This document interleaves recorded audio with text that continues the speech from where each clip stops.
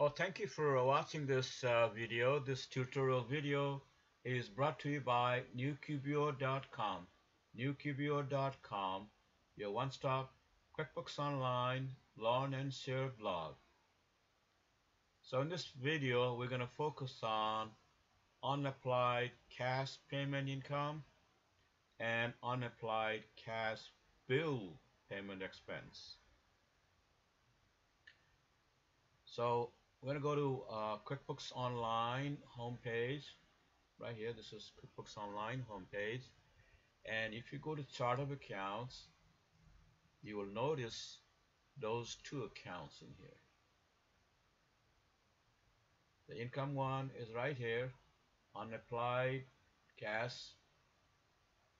payment income and unapplied cash bill payment expense. So these two accounts are default accounts in QuickBooks Online. So it's created whenever you uh, create a company file. So even if you try to delete it, it won't go away. Let's say right here you can't delete it. Same thing with unapplied bill payment expense. You try to delete it, you can't delete it.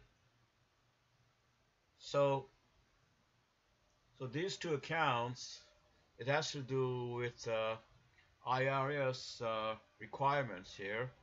IRS, if you can Google IRS 538 and look for constructive receipt income, it will tell you uh, why it triggers those two accounts in QuickBooks Online.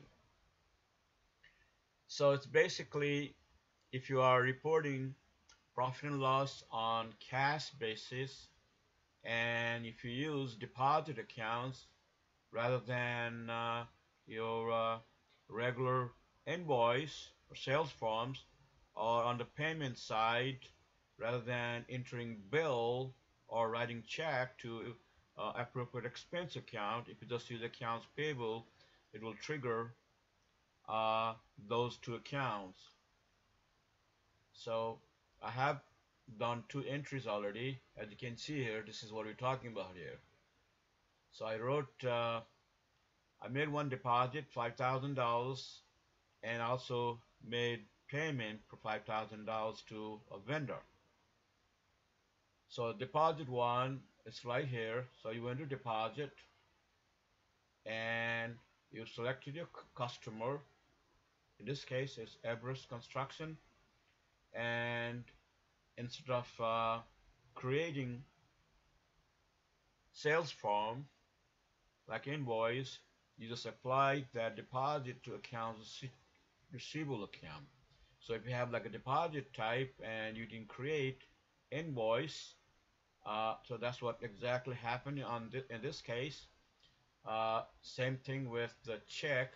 I wrote a check for $5,000 the vendor is Ingram Computer and I selected accounts payable rather than expense category.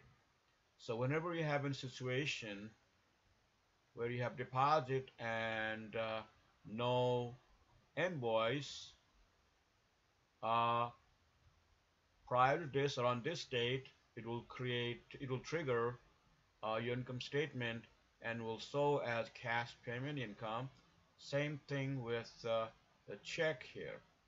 So instead of uh, entering bill to expense category you know you've selected accounts payable.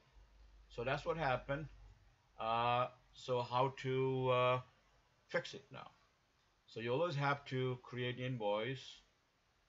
If you don't want to see this unapplied cash payment income in your P&L on cash basis. Okay, so what I'm gonna do now is I'm gonna create invoice for this one and I'm gonna enter bill for this one. So I'm gonna create invoice for that customer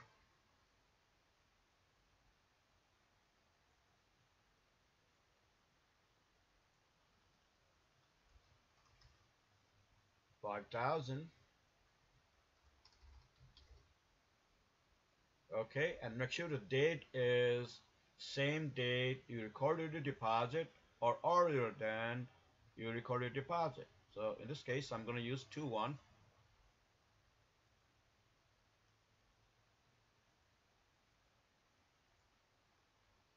So I'm just going to save this.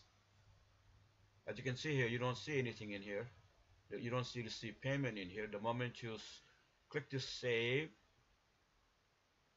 now you have received payment link here. So just click that one. So now you have a deposit and invoice. So invoice is you're basically uh, applying this deposit against this invoice on 2-1. So save and close.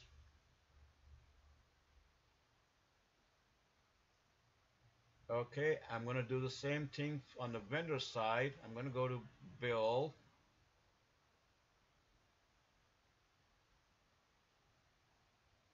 I'm going to select a vendor, same vendor, Ingram Computer. And let's say in this case is the purchase one for 5000 because you already paid $5,000 to this vendor. It just wasn't applied to expense category.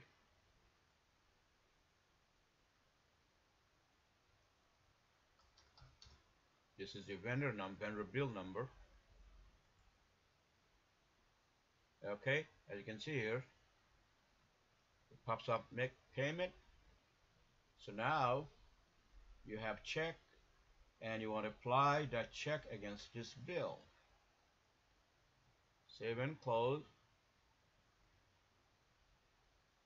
Okay, so now I'm going to go to the uh, profit and loss here. I'm going to refresh it and see what happens.